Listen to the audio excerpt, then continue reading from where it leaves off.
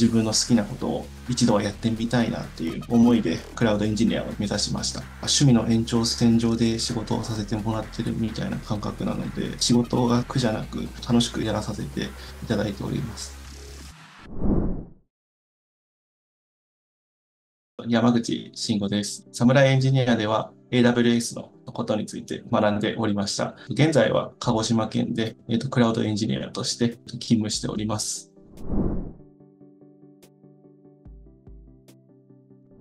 もともとパソコンの方はすごい好きで、自分でこうパソコンを組み立てたりとかしてたんですけど、まあ、あの前の仕事が、えーとまあ、看護師をしておりまして、自分の好きなことを一度はやってみたいなっていう思いで、クラウドエンジニアをですね、目指しました。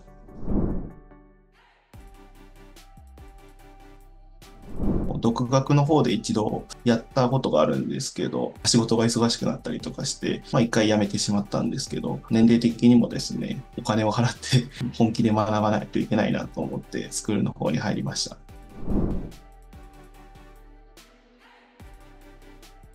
まあ、自分がもともとちょっとクラウドに興味があったので、クラウドエンジニアでそういうリスキリングの、えーと、制度があるということで、侍さんを選びました。他のやっぱスクールさんって、クラウドもやるけど、そこまでメインじゃないよっていうのもあって、まあ、侍さんそのクラウド一本での学習をできるっていう環境でしたので、自分の中で決めてになったと思います。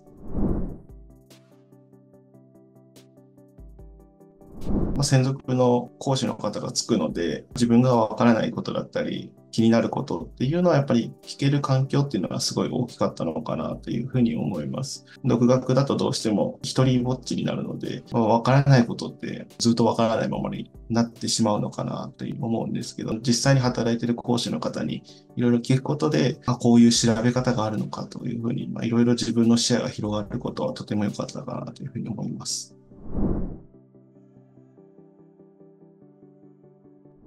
AWS のクラウドプラクティショナーとソリューション、あの、アーキテクトアソシエイトの方を無事に取ることができて、来月プロフェッショナル受験するので学習をしております。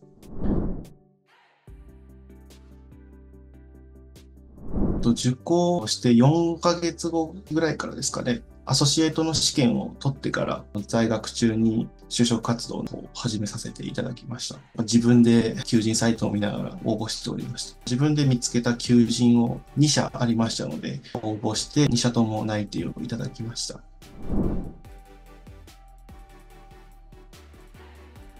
30歳手前だったので、そこから未経験ってなると、応募すら受け付けてくれないっていうような求人票もやっぱありましたので、探すっていうのがすごい大変でしたね。あとは、侍さんの履歴書とかの添付してくれる方がすごい良くてですね、職務経歴書とか今まで書いたことがなかったんですけど、結構厳しくですね、あの、添付してくださったですね、実際企業、スタに持っていくと、あの、評判が良かったので、やっぱりそれが大きかったのかなというふうに思います。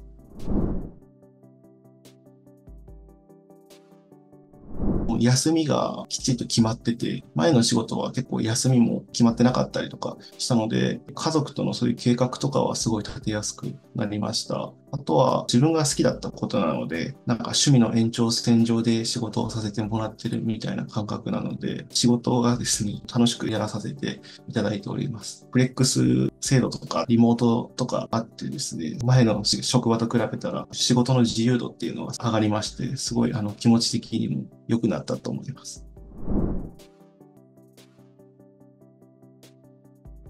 迷ってる時間があるんだったら、とにかく何でもやってみるっていうことがすごい大事だと思います。まあ、やってみてダメなら、あもうそれはそれで仕方がないっていう諦めるぐらいのね、気持ちで、やっぱり後悔したくない人生をしたければですね、挑戦してみることがまず大事だと思います。